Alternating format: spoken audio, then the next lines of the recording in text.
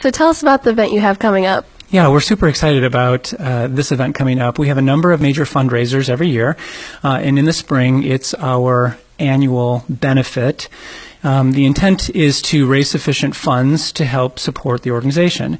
Um, what we provide is free services to men and women in the community who may find themselves in an unplanned pregnancy situation, and we're wanting to help them think through uh, a number of issues. There's there's a lot of concern that they may have at this point, and so we're wanting to help in a very loving way to talk with them about the decision they have.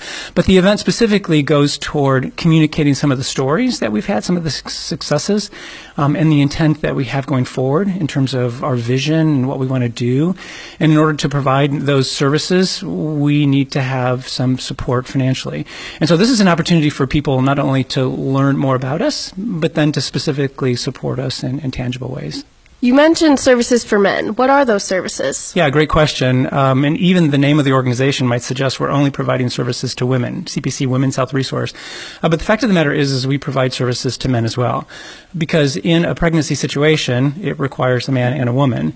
And so um, we by and large are providing services to women, but there are men who would come along as well and um, information related to the pregnancy, um, what that means for them, the implications. Um, all of that is is another level of service that we provide to men specifically. What services do you provide for women? Yeah. There are a number of services that we provide. Um, by and large, the primary service that we offer are, is pregnancy testing. So a woman comes in, she's Mr. Period, she's thinking, I may be pregnant, I'm not sure. Um, and so we're helping to answer that question. We, we give them a pregnancy test. It would be a commercially graded pregnancy test, so a better quality test. But in addition to that, we would schedule and uh, can schedule an ultrasound. An ultrasound is um, uh, the only 100% or 100% verifiable way to determine the accuracy of a pregnancy.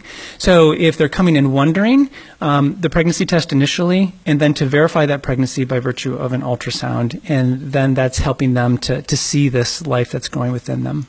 So that's one of the, the services that we provide, and it's, it's a primary service. But to the degree that women are thinking about this issue and end up choosing life for uh, their baby, we recognize that there may not be the, the financial support or the material items that they would have themselves in order to, to be able to do this. So we want to help equip them as best we can to, to give them the resources to do this. So um, we offer parenting classes uh, to women. Um, as they're thinking about parenting, they may have a good example of what parenting looks like, they may not. Um, and so we're helping them to think about the various issues that will come naturally with, with uh, the pregnancy and with raising children. Um, and in exchange for taking the classes, they earn points. The points are then redeemed for material items, cribs, diapers, uh, onesies, diapers, formula, all of those sorts of things.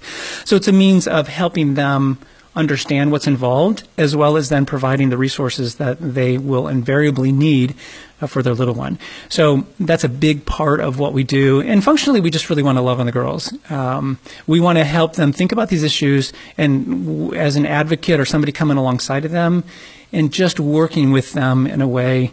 Um, that's just helping them think through issues and answer questions that, that come along the way. It sounds like there's support for before and after the baby is born. Yes, that would be true. Um, our intent is is from the point where they're thinking I may be pregnant to the point even after they've had their baby to 12 months even after they've had their baby. Um, we're providing just a, a, litany of services that they can receive. Again, the clarification of the pregnancy, helping them talk through nutritional things during their, their pregnancy, um, and then after the baby is born to, again, provide those material items that they're going to need, parenting classes, and then cribs and, and mattresses and all those sorts of things, again, that they're going to need. So it really is intended for a year and a half uh, or so, 18 months or so, um, through this period that we're providing uh, some service to them. What is the specific date and time of the event, and what can people expect? The event is on April 20th. Uh, it's at seven uh, o'clock. Um, we have hors d'oeuvres at five thirty. It's at Archbold High School, so it's a Thursday night. That would be a week from this coming Thursday. Um, and so what we what we've tried to do in this is to make it just a really a great evening. Food is always great. People love food, uh, so we have plenty of hors d'oeuvres and and uh, really very. Um, encourage good stuff, I guess, mm-hmm. is the best way to say that. Um, and then in addition to that, we have silent auction items items that maybe people weren't thinking of, but hey, wow, I'm here and here's a silent auction item that may be of interest to me. Um, in addition to that, then of course we would have stories, live stories of, of people who have benefited from the services. We'll have a speaker. Um, a highlight of the evening will be a live ultrasound maybe someone hasn't really seen what's involved when they go through an ultrasound. So we'll have an ultrasound model on stage and we'll be doing a live ultrasound so they can see that. And then, of course, there'll be an opportunity for them to specifically invest in us by virtue of, of making a contribution to us. Does a success story come to mind? There are lots of stories where, um, because of some involvement that we have had with women coming through our doors, um, that are huge successes. Not every story we have is a success, but there are plenty that are.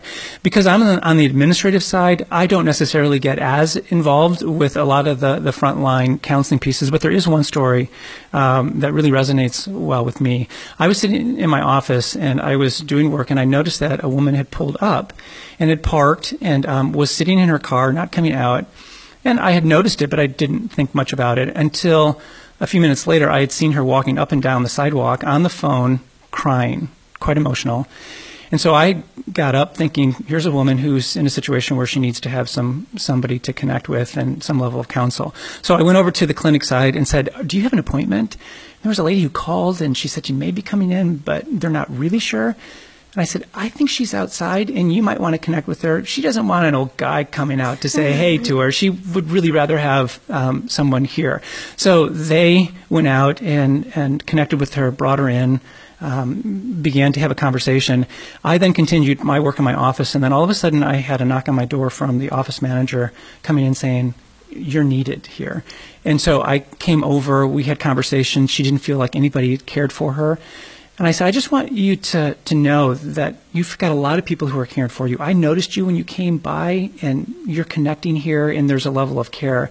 And she was touched by that. She ended up choosing life for her baby. She came back about a year or so later and sought me out specifically and um, tender and sweet. And she said, you know, really it's because of you that I have my little son. I wouldn't have my baby if it weren't for you, which I thought was incredibly sweet. And the reality is, is we're just tools to be used of, of God to, to be able to connect and to help people make wise decisions.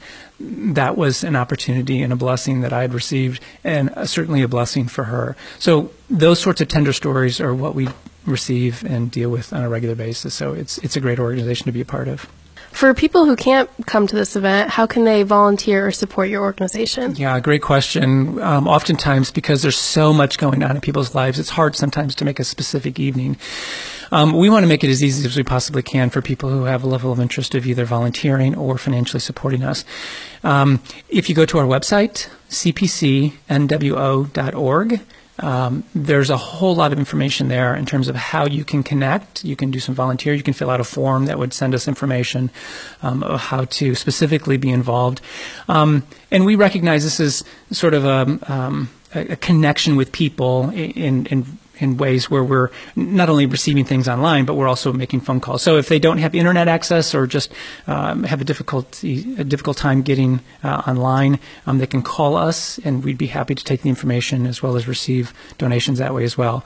Uh, the phone number that they would want to contact is um, just the Bryan CPC, uh, but it's 419 636 5692 it's kind of a lot to remember, but um, hopefully that that's uh, enough information. Mm-hmm. Thank you for your time. Thank you. This is Natalie Meyer reporting for ABEX Community News.